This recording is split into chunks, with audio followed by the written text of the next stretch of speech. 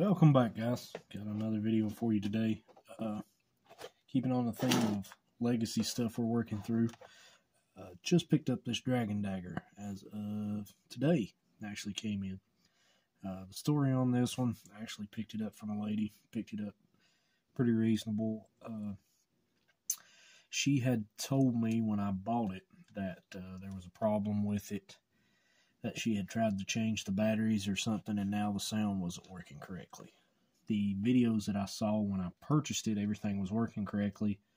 So I'm not really sure what's going on. So we're going to flip it on, see what it's what it's doing, and see what we can do to fix it. Hmm. Okay, we can see the sound's hung up. Turn it off back on, it's doing it again.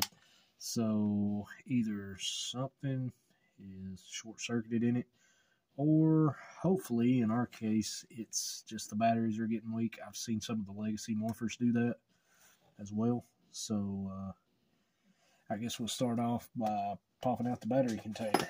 Uh, as you can see, you've never popped one of these out.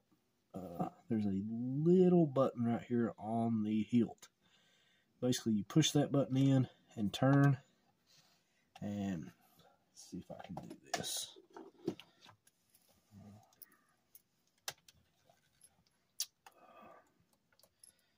Just barely push the button, give it about a quarter turn, and the cap comes off.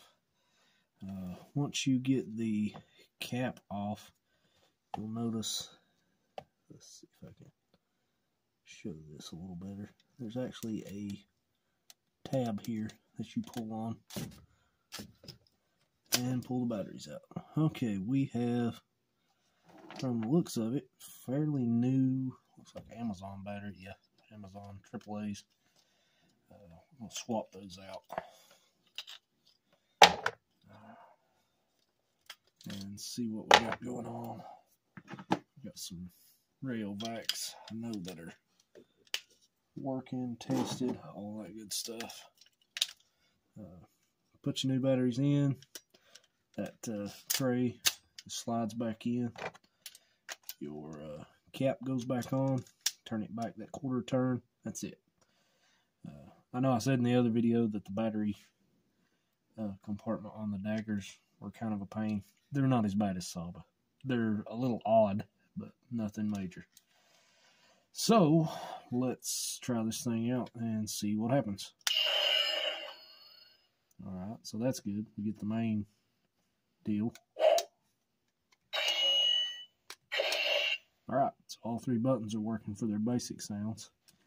Now we'll push in the mouthpiece and try for the other ones.